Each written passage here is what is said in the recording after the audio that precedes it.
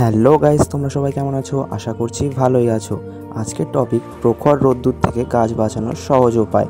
তোমরা চ্যানেলে নতুন এসে থাকলে অবশ্যই সাবস্ক্রাইব বাটনটিকে প্রেস করো আর ভিডিও ভালো লাগলে অবশ্যই লাইক করো। আমি অভিজিৎ, তোমরা দেখছ গ্রেট আপ গার্ডেন। চলো শুরু করা যাক।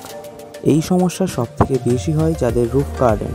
গাছে দুবার জল দেওয়া সত্ত্বেও গাছের অবস্থা খারাপ হয়ে যাচ্ছে। দুপুরে গাছে জল দেওয়া কি ঠিক? এত কিছু করার সত্ত্বেও গাছের সমস্যা এসেই যাচ্ছে। এক্ষেত্রে কি করণীয়? এই সকল প্রশ্নের উত্তর আজ আমি দিতে চলেছি। শুধু অনুরোধ রইল, শেষ পর্যন্ত দেখার একটু স্কিপ না করে। প্রথমত, নটার মধ্যে গাছে জল দেওয়া কমপ্লিট করতে হবে। ফলে টবের মাটি ভিজে থাকবে। এর ফলে জলের অভাবে গাছটি মারা যাবে না। এবং একইভাবে দুপুর তিনটের পর গাছে জল দেওয়া হলে গাছের গোড়ার মাটি আবার পরদিন সকাল পর্যন্ত ভিজে থাকছে। ফলে গাছটি মারা যাওয়ার কোনো সম্ভাবনাই থাকছে না। কিন্তু কিছু গাছের অবস্থা খারাপ হবে। এর ফলে কি আপনি দুপুরে গাছে জল দেবেন? আমি বলব অবশ্যই না। কয়েকটি গাছের জন্য সবকটি গাছে জল দেওয়ার কোনো প্রয়োজন নেই। এক্ষেত্রে তোমরা আমার একটি মেথড অ্যাপ্লাই করে দেখতে পারো।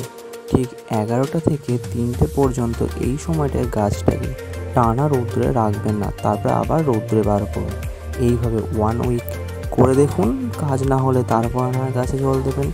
এই মেথড আমিও অনেক গাছের ক্ষেত্রে অ্যাপ্লাই করেছি এবং তা যথেষ্ট এফেক্টিভ দেখতেই পাচ্ছেন, রোদ্দুরে গাছকে বাঁচানোর জন্য আমি গাছের গোড়াতে ধানের চিঠি দিয়ে রেখেছি। এক্ষেত্রে আপনি অ্যাজোলা, সর্ষের খোলা কোকোপিট ইত্যাদি ব্যবহার করতে পারেন।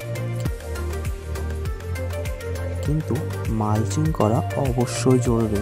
কিন্তু তা খুব ঘন ঘন নয় ও গভীরভাবে করার কোনো প্রয়োজন নেই।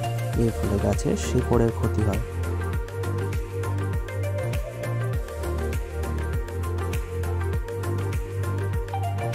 আমি যে মেথডের কথা বলেছিলাম, এগারোটা থেকে তিনটে পর্যন্ত এই গাছের ক্ষেত্রে অ্যাপ্লাই করেছি এবং গাছটি এখন সুস্থই আছে।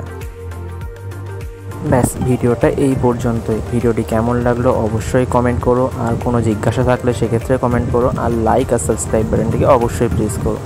বাই দেখা হচ্ছে পরের ভিডিওতে